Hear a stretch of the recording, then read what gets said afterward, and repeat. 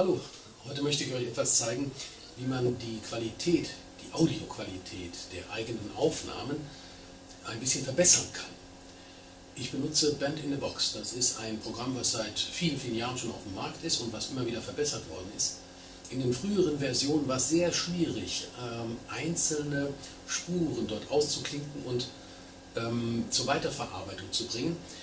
In den neueren Versionen gibt es eine wunderbare Einrichtung. Dort kann man also automatisch sozusagen all die angelegten Spuren auch hinterher separieren und dann damit in einem weiteren neuen Programm arbeiten. Wie ich das mache, das würde ich euch jetzt gerne mal zeigen.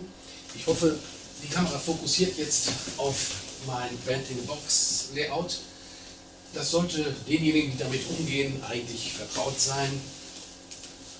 Ich habe eine ganz simple Geschichte aufgenommen, äh, die hier äh, sich abzeichnet. Das ist gar nichts Besonderes, sind einfache Akkorde. Und ähm, ich habe dazu einen Bläsersatz noch gebunden, mir erzeugen lassen von Band in a Box. Der ist ebenfalls zugeschaltet. Man kann den vielleicht mal kurz hören.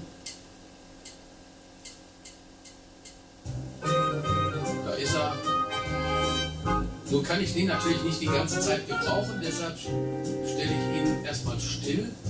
Und dann habe ich sozusagen jetzt meine Begleitung ähm, und nehme mir meine Gitarre und äh, werde jetzt ein bisschen dazu improvisieren. Äh, nur ganz kurz, die läuft also jetzt über den Mixer hier. Der Mixer ist sozusagen direkt in die Soundkarte gebunden und äh, dadurch bekomme ich eigentlich alles hinterher auch zusammengeliefert. Und dann geht's los.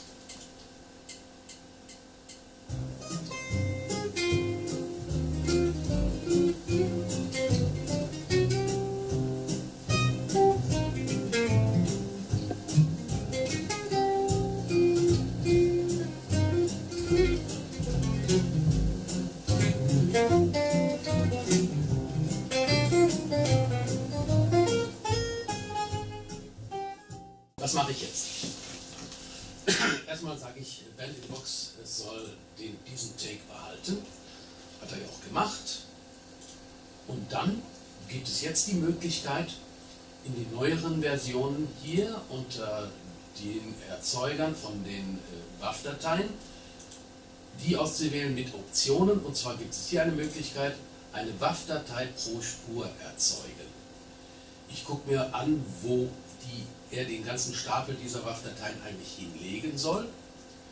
Und da hatte ich mir ein Verzeichnis angelegt, das steht unter WAV-Spuren. Ich habe ein Freeware-Programm, Music Maker. Ich kann es nur empfehlen. Ich höre es mir mal an, was er da abgeliefert hat. Ja, da ist also jetzt alles zusammen.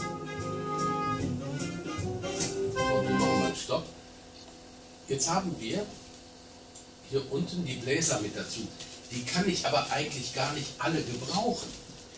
Ich möchte eigentlich nur partiell, da wo ich vielleicht als äh, Gitarrist eine Pause mache, da möchte ich eigentlich die Bläser reinsetzen.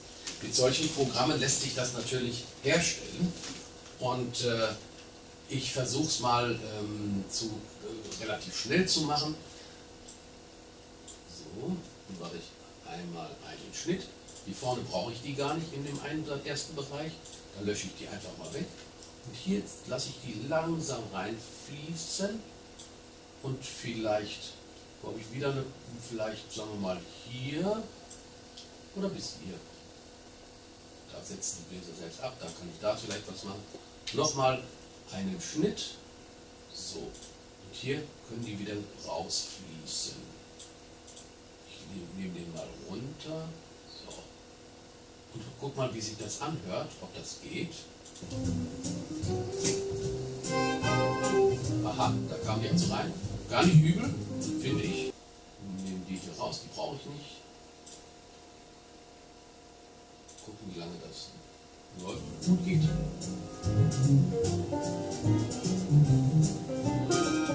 Gut, da werden sie, da heben sie an. Insofern lasse ich sie lieber hier an der Stelle ausklingen.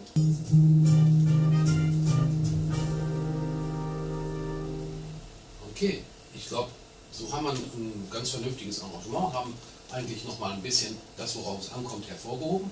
Und insofern könnten wir jetzt auch daran gehen, das Ganze zusammenzubringen mit einer Videospur. Er normalisiert das, macht den Mixdown und rendert es und dann hat er es auch schon abgelegt. Okay, das ging relativ schnell. Ich schließe dieses Programm. Ähm, jetzt kann ich mir in diesem, äh, in diesem Programm auch nochmal, das ist ein Videoprogramm, auch nochmal ähm, ein, ein Audio-Cleaning vornehmen. Und zwar, ähm, ich lasse es mal laufen, und zwar habe ich hier einmal den Equalizer. Ich finde, die Höhen kommen nicht gut, deshalb ziehe ich sie mal ein bisschen höher rein. Und ein bisschen mehr Druck darf der Bass auch haben, aber nicht zu viel.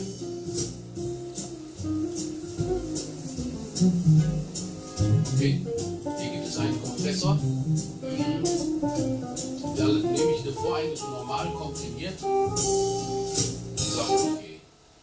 Das soll mir reichen. Und jetzt habe ich also meine Tonspur. Jetzt muss ich da oben auf nur legen noch eine Videospur und da kann ich anfangen, das Video zu schneiden und wahrscheinlich ist es dann doch noch das gleich, was ihr seht. Okay, alles dann.